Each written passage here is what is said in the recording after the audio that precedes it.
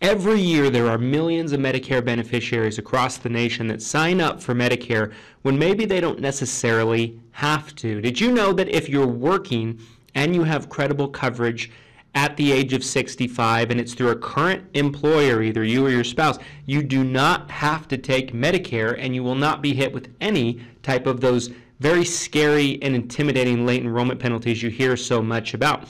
My name is Christian Brindle. I'm a Medicare health plan expert and specialist. I run the company called Christian Brindle Insurance Services, also known as Everything Senior Insurance.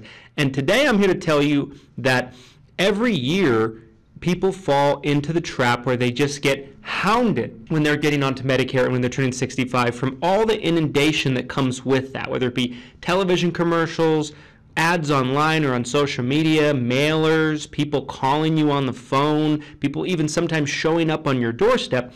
And the inundation typically never actually takes the time to tell you what you need to know about getting onto Medicare and making a viable decision. And part of that is that if you're working, and it's through a current employer. So let's just take me for example, right? Let's say I worked for a company and that company was providing me with benefits. Part of those benefits might be health insurance. So it's an active employer, right? So I'm actively working, I'm actively employed, I'm going to work every day, and I have insurance through that employer. Now it has to also be credible insurance. What by what what verifies is credible insurance? Well, credible insurance is typically if the employer has 20 employees or more. If it has less than 20 employees, then it might not be considered credible insurance. If you're not sure about that, make sure to talk to your HR or your insurance department to verify and make sure of that. But typically in most cases, it's going to be credible insurance.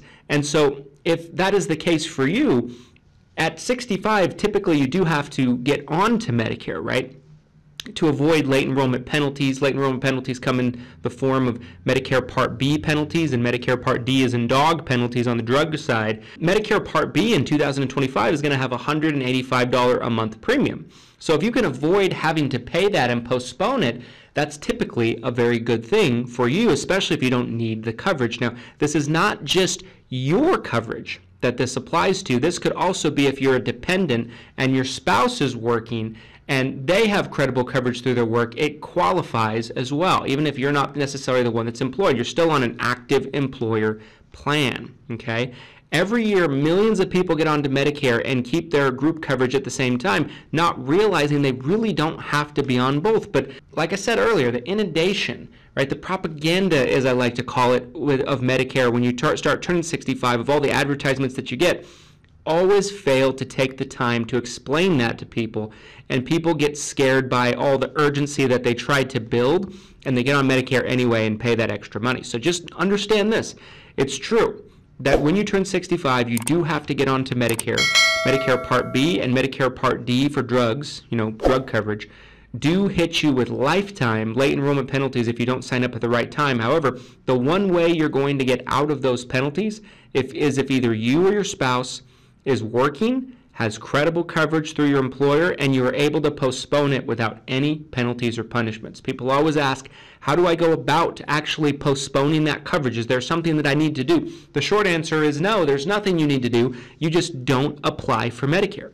You just frankly do nothing and then when you do actually enroll into Medicare, there are some documentation and some forms you have to show that show you had credible coverage to avoid the penalties. But as long as you take those special precautions when it is time for you to enroll, either when you're retired or whether you stop being on that group plan, whichever one comes first, that's when you'd have to get onto Medicare. But as long as you take those special precautions, you will avoid all group related penalties on your Medicare. Okay, so this is very important for you to know. It'll save you a lot of money thousands of dollars over the course of time, maybe even tens of thousands if you're working long enough and you're postponing your Medicare long enough. Okay? Hope this video was helpful. If it was and it answered this very important question for you, do us a favor, smash the like button for the YouTube algorithm. Make sure to click that like button on this video.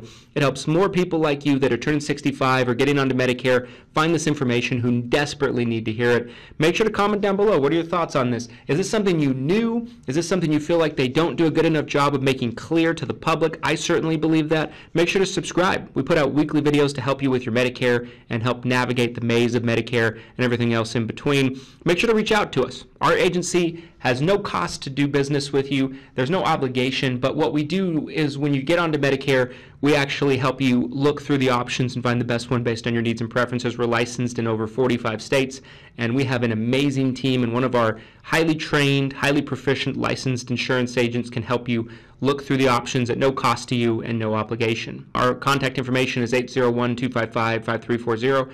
Again, 801-255-5340. You can also find that information down in the description of this video. Again, we're licensed in 45 states, so we can help you almost anywhere. We'll see you next time. Thanks so much for watching all the way to the end, and happy Medicare, everybody.